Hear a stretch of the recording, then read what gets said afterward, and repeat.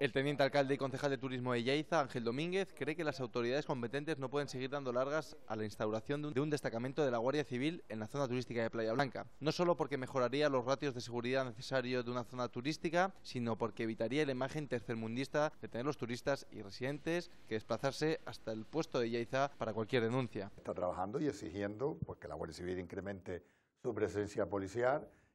que hayan dependencias de la Guardia Civil en Playa Blanca, porque ahora mismo no hay ninguno. Cualquier visitante, cualquier turismo o cualquier eh, vecino que vive en Playa Blanca se tiene que poner una denuncia, se tiene que desplazar a las localidades ya esa y a veces es, que eso, Ángel, es un poquito tercermundista. El nacionalista de Coalición Canaria, Ángel Domínguez, se comprometió ante la audiencia de Café de Periodistas a que los accesos a la famosa guardería construida hace casi una década y sin poderse inaugurar por la adecuación de los accesos se resuelva en los próximos meses. Yo creo que ese tema está resuelto de hecho allí se está trabajando en lo que es la calle Lipoa y la calle Roma, y junto con la calle Roma vienen los, los accesos de, esa guardería y que esperemos que ya por fin sea una realidad, porque la verdad que es una pena que todos estos años haya estado esa instalación. Por otro lado, Domínguez pidió al Cabildo de Dolores Corujo que cumpla el compromiso adquirido a través de un acuerdo plenario con Yaiza de recuperar el castillo de las Coloradas. En este caso, entre los centros turísticos y el Ayuntamiento de Yaiza para terminar de restaurar el, lo que es el castillo,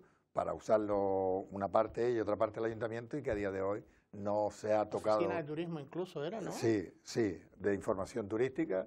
y a día de hoy no se ha hecho absolutamente nada al respecto y por supuesto tendremos que ponernos en contacto ahora con don Benjamín o con quien les corresponda para, para ver qué planteamiento tienen pensado hacer con respecto a, esta obra que está conveniada y que por supuesto eh, entendemos que se debe hacer. Finalmente, el consejero de Turismo cree que a más tardar, a principios de otoño, Yaiza ya cuente con una nueva empresa para gestionar la recogida de basura en el municipio.